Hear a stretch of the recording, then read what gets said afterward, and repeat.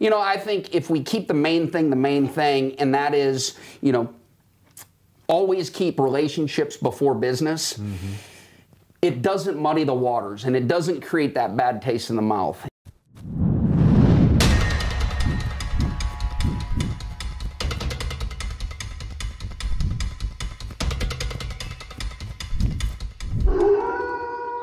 What's up, everybody? Welcome to the Sales Wolves podcast. I am your host, Tyler Harris. Today we have special guest, Rob DeBoer. And we are the Sales Wolves.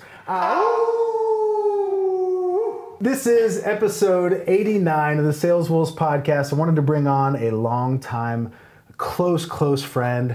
None of them were available, so we asked Rob to come but he has graciously given us his presence and his expertise to talk about something that, quite frankly, the only information that you've heard on this podcast may have been negative. But I wanted to show a positive light and show the things that are good about an industry that we may have talked negatively about before. Not specifically as in a whole podcast, but just when it came up, just kind of like the negative. We want to show the positive because, quite frankly, so many of you are involved. Uh, and that is network marketing, MLM, uh, whatever. Uh, multi-level marketing, one of those Amway marketing, pyramid deals. One of those triangles. Remember that one? Uh, I just got to say this. Rob and I go way back from network marketing. And there was one time that we were uh, sharing a hotel room, and I think it was in Atlanta, and you had gone off to a meeting or you were somewhere and I got to the room first and I put your pillows in the shape of a pyramid and I sent him a picture and I was like even your peer even your pillows are, are a pyramid. So we're going to talk about that. Uh, we're going to talk about the good, the bad, the ugly, but really focus just on the good on this uh, here for the next 15 minutes. Um, and one thing that I can say just off the bat is Rob and I would not know each other if not for a network marketing company that we were involved in years and years ago. Some of my best friends in the world, some of my current business partners, were because of a network marketing company uh, years ago. So for me, that's been the biggest positive experience for me. Is not only was it tremendous sales experience, a tremendous um, opportunity for me to get out of my comfort zone and to experience different things but the relationships that came from it that are still strong today, I would give my life for. Um, and so that's been a huge part of my life. But maybe give them a little kind of 30,000 foot view of just your experience in that world, and then we can kind of go into some of those specifics. You know, if, if you haven't by now, we've all been approached by a cousin, a friend, a brother in law, whatever it may be, maybe even a cold call. Yeah. And hey, I want to talk to you about something, but I can't tell you anything about it. yeah. And they want to buy you lunch. Options open. We, yeah, that's right. hey, are you interested in a ground floor opportunity? And you know, I think at the end of the day, um, I've really simplified it this way. Number one, it's a very real model. Yeah. Tens of billions, probably trillions of dollars run through that model. Yep. Um, and I'm not one to sit up here and say, well, look at Walmart and the hierarchy of employees and CEOs that's not the same, okay? This is an opportunity that's very real in the marketplace, but I think it's gone wrong because so many people have abused it mm-hmm. and treated it wrong. And here's an easy litmus test for that. And what I always ask myself, you know, I, I work with a network marketing company full time, uh, call it community based marketing. Um, certainly, social media has opened up the realm of how to do things and how to educate and communicate with others. But it's real simple, Tyler. People will ask me, what do you do? I'm just looking people that are looking for me. Mm. And when I find them or they help me, I try to help them. Yep. And you know, it, it can be finances, it can be health, it can be whatever that is. Yeah. And it doesn't even have to be business related. Here's what we do know and we can't argue. There are people looking for opportunity mm-hmm. and good gracious, I've owned Anytime Fitness franchise. Yeah. I know what it costs to buy a commercial yeah. uh, franchise model. Yep. And if that didn't make it, I could have been ruined. Yeah. Um, but at the same time, I've tried and failed in other network marketing opportunities and it didn't break the bank. And sure. so, you know, I think if we keep the main thing the main thing, and that is, you know, always keep relationships before business. Mm-hmm it doesn't muddy the waters and it doesn't create that bad taste in the mouth. Yeah. And and you you create the attraction marketing Yeah. versus you trying to distract people with your opportunity. That's interesting, and I think uh, a good way for us to for us to have this conversation is based around. For me, self awareness has been key to my success over the last few years, and a lot of people out there, they may think they're entrepreneurs, but if they really dove into self awareness, they would realize that they're actually not what network marketing gives you the ability to do is a very low barrier to entry to go have a business and to run it as a business and just to see like do you actually have those entrepreneurial skills and abilities to go build a business and for it to only cost you you know 100 bucks 200 bucks 300 bucks on the front end to be able to have that experience versus buying a franchise versus going and starting some business from scratch. It gives you the ability to experience a lot of the entrepreneurial world uh, at a very low cost, which I think is huge. And I think there's so many people out there that could benefit just from going through that process, if not just for that alone. Yep. Um, and just the self awareness that they'll understand about themselves. Like, do you have the ability to be self motivated? Do you have the ability to pick up a phone call when there's not a boss standing over you telling you to pick up the phone? Um, I think that's probably the biggest thing that I see in that industry is that you have people treating something like a hobby and expecting to get career like returns. You know, they're doing it just a little bit on the side here and there, but they're expecting to be up on stage, getting big checks and having this long-term income. But the reality is for most people, for them to make a couple a couple hundred bucks, a couple thousand bucks extra a month is life-changing. Yep. And with network marketing, you certainly have the ability to do that, especially if you're involved with one that is built around a lifestyle and a lifestyle that's not completely different from yours. Like if you're involved with if you're a if you're a fit person, if if working out and being healthy, if that's a part of your lifestyle, then it would certainly make sense to be involved with a network marketing company that was built around that lifestyle and to utilize the things that you're already doing on a daily basis to be able to go make a little money on the side. Like I, I there's nothing wrong with that uh, at the end of the day. But I think for me, it's the bad is so glaring that it it sometimes just it it outweighs the good that's out there. Because there's so much good out there but the bad is so bad. And i think that that's a lot of people's experiences. Like they've all been hit up by that guy from high school that they haven't talked to in 14 years that all of a sudden is like talking to them like they're their best friend Right. and then they get invited over to somebody's house and then they got pitched right Yep, yep. and so I can tell you from my experience when I was in network marketing, I did it so wrong. So wrong. Like it was right when Facebook had really kind of hit its hit its uh, momentum and it was like every single post was like you know, check out this athlete wearing our product, and you know, why haven't you tried this? And you're an idiot, and like ground floor, and like it was just like every single non-stop, and that, that's not the way to do it Yep. what I think social media has enabled people to go do now is build a personal brand Yep. and put out value just for the sake of value. And that's what I, that I love about what you're doing is you're just you're educating people just for the sake of the education and for them to learn and for them to understand. And then, oh yeah, and by the way, if any of this makes sense to you and you actually want to get involved in this industry that I'm in, if you want to get involved with this product that that I use for some of these things that we've been educating you about, then then that just makes sense. It's more of like an organic uh, recruiting tool rather than just like this in in your face, like, hey, I've only got eight spots left. Right. You know that I, eight more people I'm taking on this month. You know, get Well, the- get in quick. The truth is, nobody wants to be sold anything. Correct. And, but you people know, love to buy. and people love to buy. And and so at the end of the day, I think social media has changed a lot. Yeah. You know, I want you to think about this. Um, our focus with what I do is customer acquisition, real customer, n- a paying customer that's not there for a free product program, they're not there for an opportunity, but true customer acquisition through education. Social media has opened up the lines of communication greatly for that to happen versus what most of us think when it comes to network marketing or direct sales, and that is distributor acquisition Yeah. through opportunity. Sure.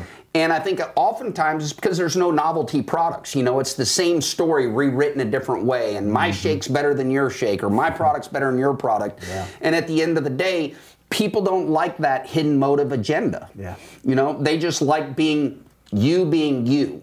And I think if we would just stop taking everything so personally, Sure. you know, and stop being so passionate that we wear our emotions on our sleeves and Mm-hmm. we run off relationships that aren't interested in what we're doing instead of just being okay. Yeah. You know, timing is everything for everyone. Things can change. Don't be that person that runs off relationships, burns the bridge, and next time you show up on the caller ID, they're not taking the call. Yeah. Man, are you familiar with uh, JP Sears? The guy that does like the spiritual videos. and, like, Yes. did you ever see the video he did on cryptocurrency? No. It's probably one of the best ones he's ever done. Like it talks, it plays so into what you just said. He talks about the fact that like your your uncle that's never made money on in anything. How now all of a sudden he's a financial expert and like it's his sole purpose in life to show you how wrong you are. like every time you talk to him, if you would have if you would have bought this coin last Thursday, you would be a millionaire today.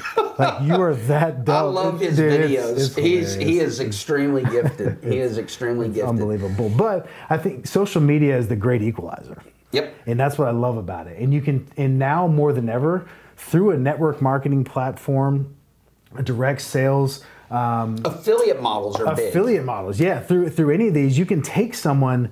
Probably more than ever now, you can take someone at an entry level into a business that can excel through a compensation plan and can get to where before it was, well, you can't get, you can't join now and get over here. Like it's just impossible. Like social media has been the great equalizer because you have the ability to reach eyeballs all over the freaking world Yep. with a message that if I'm in your downline that I could never get to where you are, well, now I can because I can reach people around you and reach people all across the world.